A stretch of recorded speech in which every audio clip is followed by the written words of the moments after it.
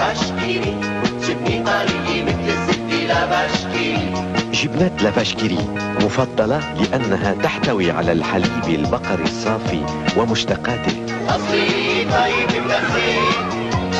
اللي بيحبوها يومي جبنة البقرة الضاحكة